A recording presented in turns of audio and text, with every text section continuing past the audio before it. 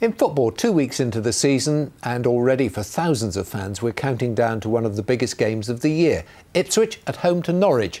Their first league meeting since the promotion playoffs two seasons ago. And today, two special visitors to Portman Road. This report from Tom Williams. A flying visit from two local heroes and the team that rescued them.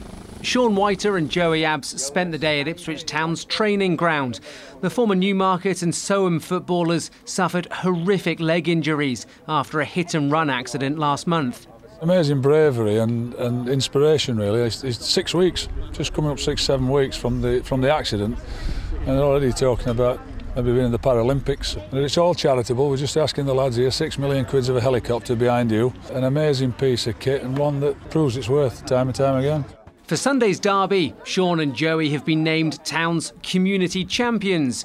Guests of honour, they'll be presenting the match ball to the referee at kick-off. Such an honour to do it and uh, such a great feeling, very daunting, but yeah, going to enjoy every minute of it.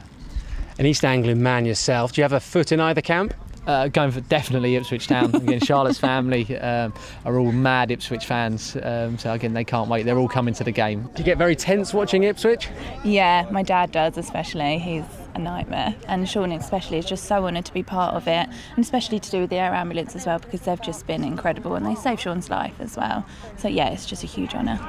Norwich this week threw open their gates for a training session with the fans. It's seven years since City tasted defeat against their closest rivals. We've got a lot of players that have won a lot of their games against Ipswich, knows what it means to them, know what it means to the fans, and I think the gravity of the game won't be lost on our players due to that, which I think will help us because we know what it means to everyone, um, and I'm sure the players will attack it as such.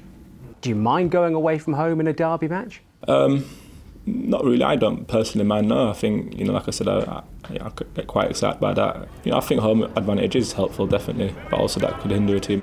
Inspired by Team GB's cyclists, Norwich are geared up and ready. Ipswich hope to puncture their ambition. Tom Williams, BBC Look East.